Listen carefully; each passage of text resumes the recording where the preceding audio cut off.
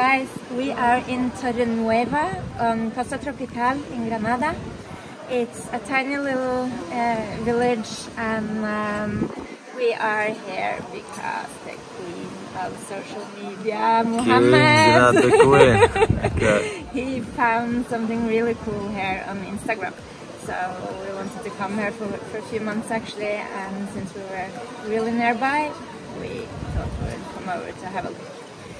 But yeah, we start off by having a cold drink and uh, that actually comes with a free tapas here, which is quite normal in the provinces in Andalusia outside the touristy provinces, which is mainly Costa del Sol and Malaga. Um, so the guy was so sweet, he came out with a plate of shrimps sorry but we're vegan and uh, he took it back and came out with some mushrooms for us instead, so we really appreciate that. for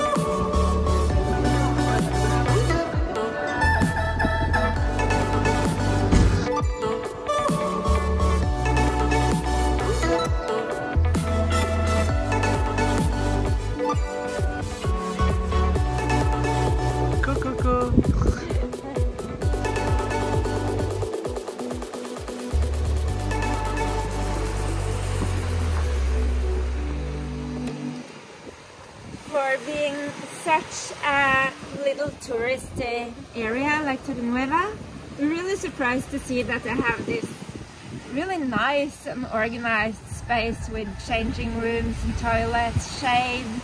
Uh, I haven't seen this in Andalusia before to be honest. Maybe I haven't been to the right places. I've been around but no, I haven't seen it before. I like it.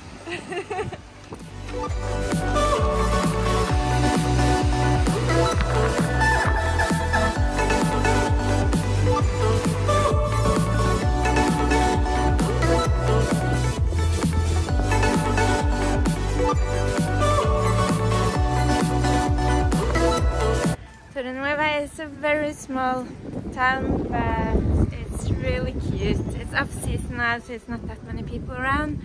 And it's midweek too which means there's not that many people on the beach either. But yeah super charming.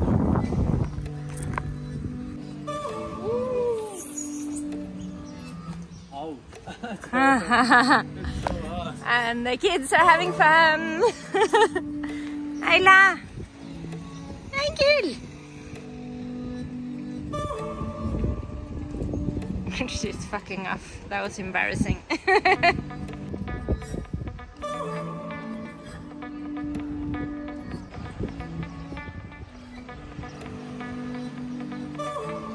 Nice view here of uh, Beach. It's uh, they're building right next to it, like the building here is super ugly. but it's a statue of the patron saint of Torrenueva, which is Santissima Virgen del Carmen. Um, you can show them the statue even though the background is pretty ugly.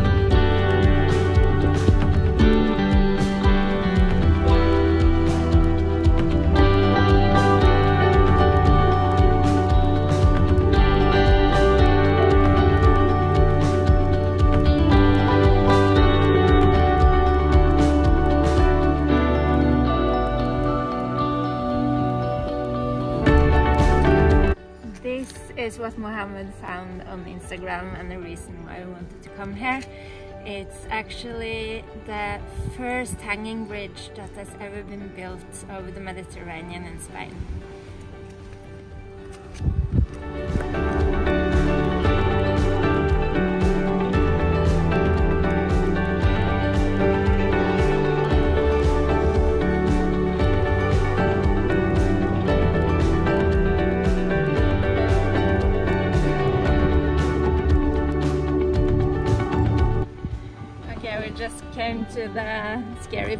With glass floor. Um, I have a little bit of vertigo, so let's see how this goes.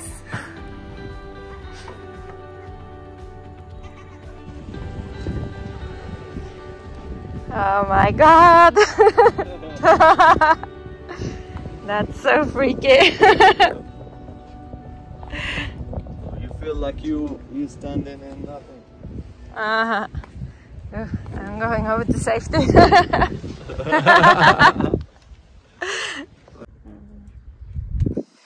hanging bridge was built as part of a bigger project uh, of connecting the, um, the beaches in Torrenueva and uh, it was only open last year, like in May last year, 2022. So yeah, it's only been open for a year and not even a month. And it cost 210,000 euros. To build, not to come here. Yeah.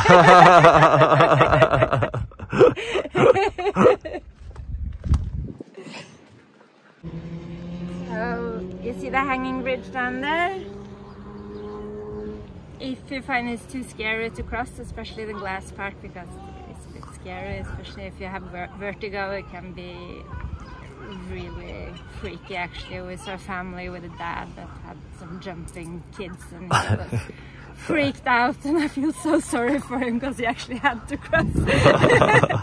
but there is no alternative route so you can walk around here and come up on this side if you if you find it a bit too scary.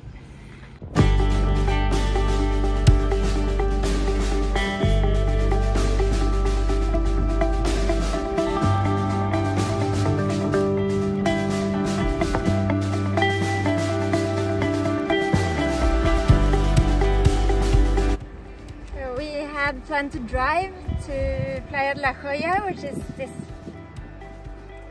pretty damn beautiful beach down here.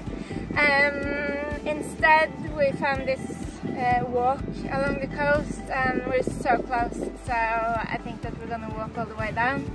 Uh, it's so hot, we really need to put the dog in water and we need to wet our heads too because it's super super hot.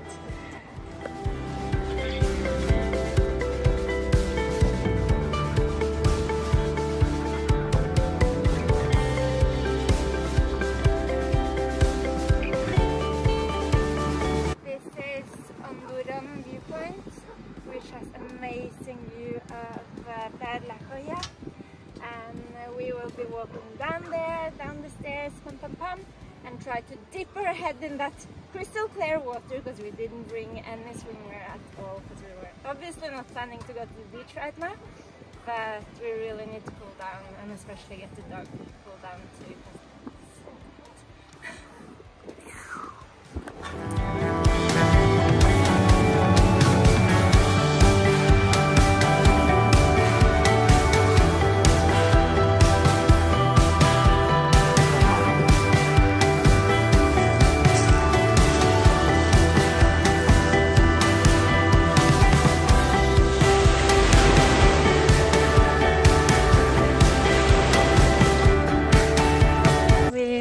to cool down a bit at the beach. Got to dip my head in and cool down the hair and the dog has been emerged two times and she's still dry under her under her fur like she's got so thick fur it's insane anyway um, uh, the beach is a beach which means that there's a lot of nudists there so we didn't want to do any filming on the beach out of respect of the people of course. Um, but we are not on the same path on the way back now because it's so hot and we would have had to go back up all those hills again. Um, so we're gonna try to walk the main road back which uh, seemed scary on uh, Google Maps, but when we had a peek at it, it doesn't seem like it's that far. And we can walk on the side of the road, so we're gonna try that to get back to the van as soon as possible to get cooled down properly because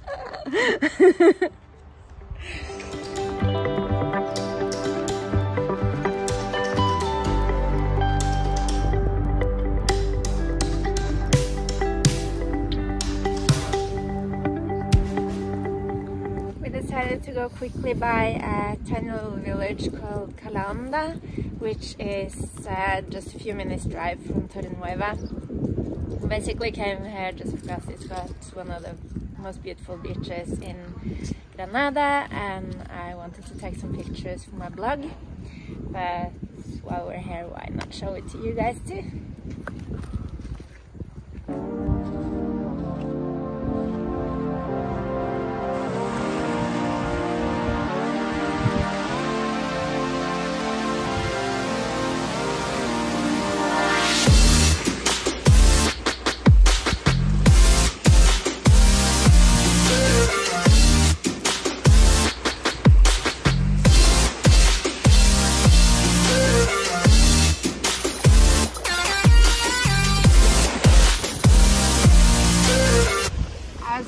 Before, but seriously, the water on the Granada coast is so crystal clear. It's so nice. And the water here is actually really warm compared to the last few days that we've been swimming. Yeah. Yeah. Afterwards, we're gonna go up to that watchtower up there. Yep, I'm gonna show them the watchtower. So stay, Woohoo! stay, Woohoo! stay. What is that?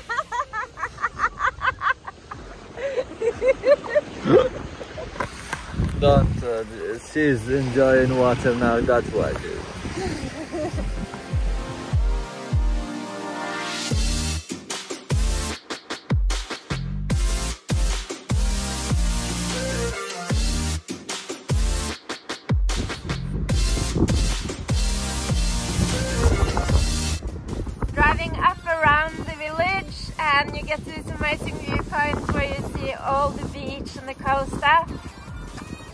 Bellissima.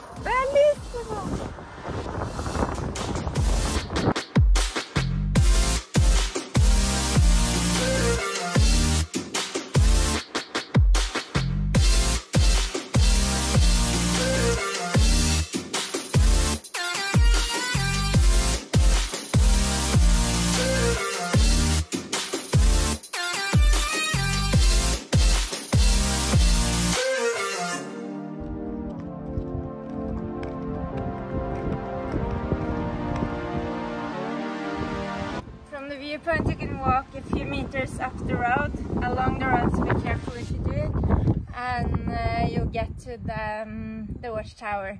It's basically, as I've said before in the vlog, in La Herradura and also Rote. in Rote. Uh, they used to put fire on top of them when they saw the enemy come uh, so that they could communicate uh, with other watchtowers and they would all put fire to, to communicate. So uh, I really like to see them along the coast because it tells so much about the history.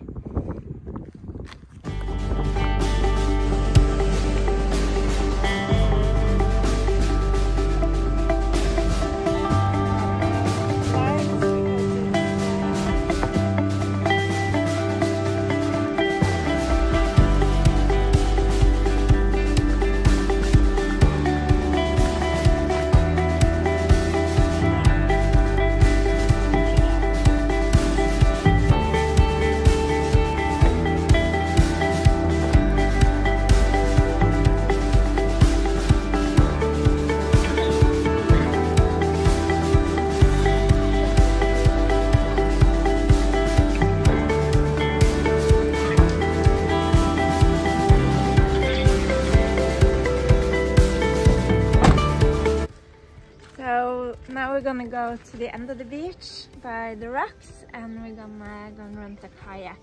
We checked the other day and it's uh, 12 euros for a paddleboard and it's 14 euros for a kayak for two persons.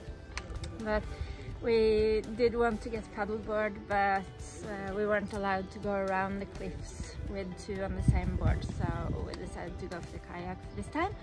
But uh, I'm super excited to see how it looks around there because the water is so clear. It's supposed to be a cave around there and some secluded beaches. So let's go.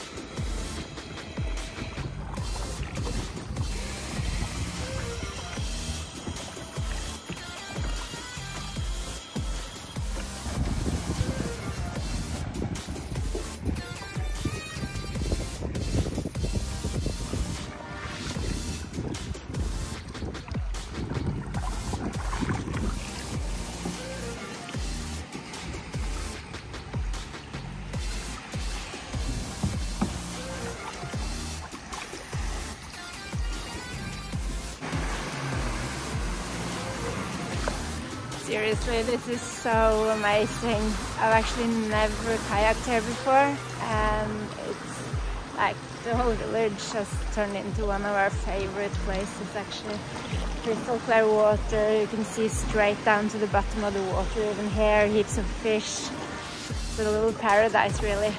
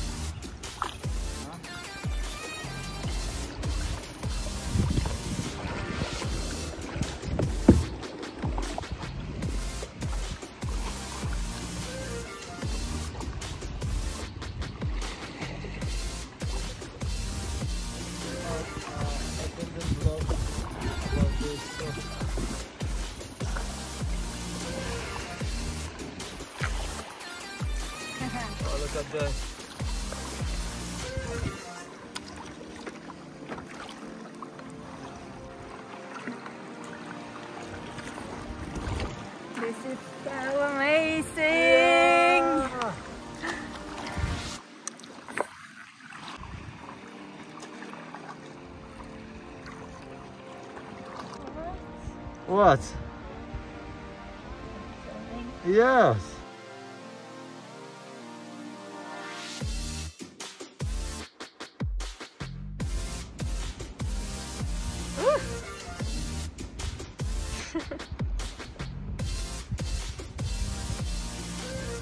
One secluded beach over there and one there.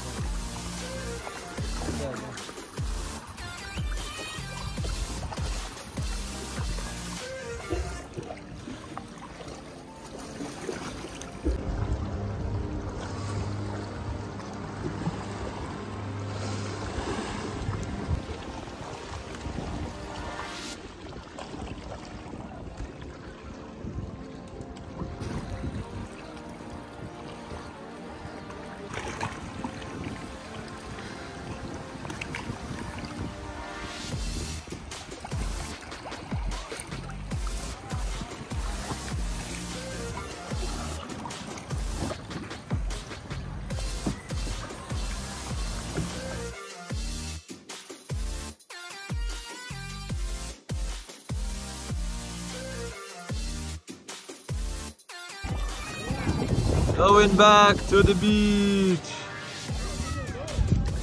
with the captain Lynn Hangland.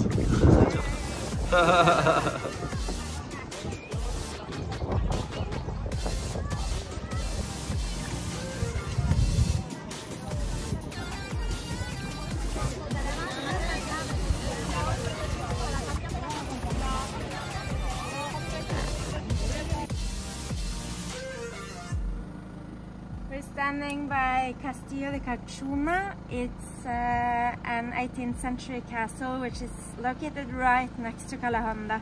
in a little community called uh. Surprising. Um, we haven't discovered the town, but we came to see the castle.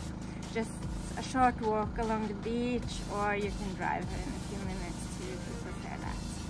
Um, the castle is only open Monday to Friday, so we missed it now. Quite, it's free entry too, which is nice to know. And uh, inside there are some ex uh, exhibitions it's uh, a permanent exhibition where you, among other things, you can see old photographies of Calahonda and Carchuna, and there are some temporary exhibitions as well. Um, the, there's not much to say about the castle really, but it was a defensive castle when it was built to against all the pirates and attacks that came from sea. And uh, it was in use as a defensive castle for quite a few years.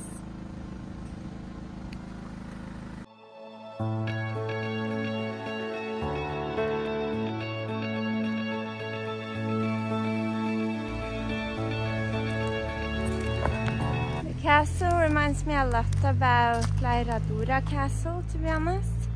And uh, considering it was built in the same time and they also have exhibitions inside, I kind of feel like I'm there. Um, but yeah, I, I really want to go in and explore it. So I hope that we get the chance one day, but not today.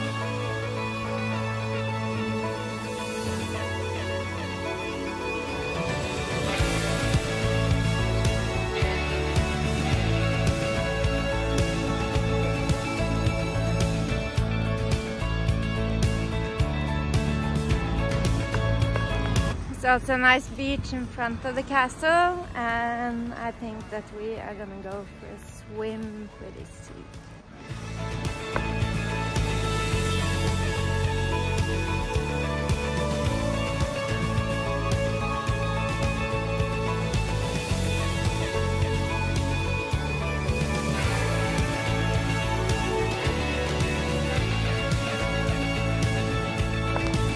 This watchtower has totally collapsed and it's actually one of the few sites that you can see in Calahonda that are not nature, so except from the castle obviously. But uh, yeah, it's pretty cool. That was it from Torrenueva and Calahonda and I hope you enjoyed it. See you next vlog.